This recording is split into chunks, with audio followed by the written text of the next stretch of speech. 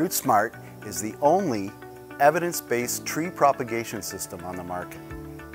It promotes the ideal root structure, preventing root girdling at the propagation stage when it really counts. RootSmart is uniquely designed to encourage lateral root growth without obstruction. As the roots come into contact with the air outside of the tray, they naturally prune themselves, allowing continued growth in a healthy lateral direction.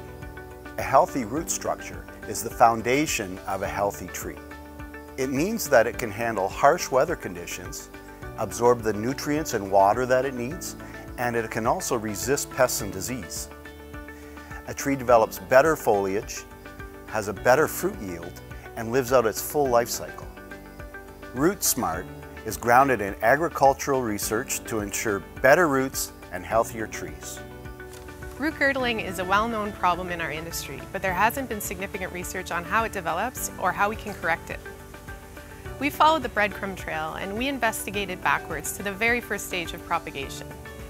After five years of research, we've found that you can't correct root girdling down the line. It has to be prevented at the very first stages of propagation. With our evidence in hand, we started working with our partners at AMA to develop the RootSmart innovation. By preventing root girdling at the propagation stage, we're ensuring that we're growing better quality trees with the RootSmart system.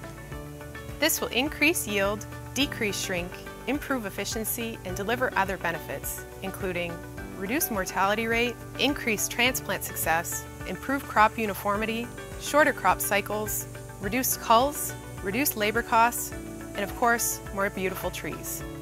At AMA, we set out to understand the challenges facing growers today and to find solutions for them and to help them become better stewards of the products that they're producing. RootSmart is a game changer. In five years, our industry will see a significant impact and efficiency as propagation practices improve.